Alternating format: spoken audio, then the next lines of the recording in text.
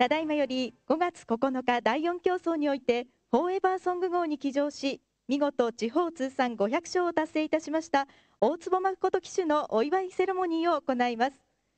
えはじめにお祝いの花束の贈呈でございます。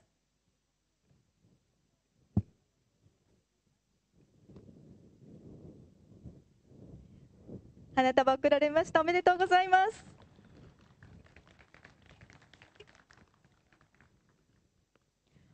えそれでは大坪騎手にえお話を伺いたいと思います。えまずは500勝達成おめでとうございます。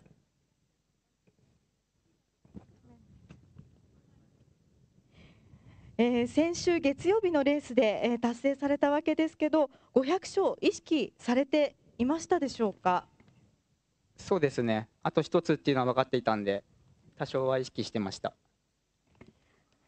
レースで勝利して500勝達成された時の気持ちを教えてください。そうですね。まあほっとしたというかよか勝ててよかったなって思いました。大坪騎手日頃騎乗する際にこう大事にしていることですとか信念なんていうのはありますか？そうですね、まあ、馬の邪魔をしないように馬を気分よく走らせるように心がけていますえそれでは大坪騎手、え今後の目標を教えていただけますか？はい、えー、500勝まで結構時間かかってしまったんで、まあ、これからはもう少し勝つペースを上げれるように頑張ります、えー、それでは最後にファンの皆様にメッセージをお願いできますか？はい、えー、これからも一生懸命頑張るので応援よろしくお願いします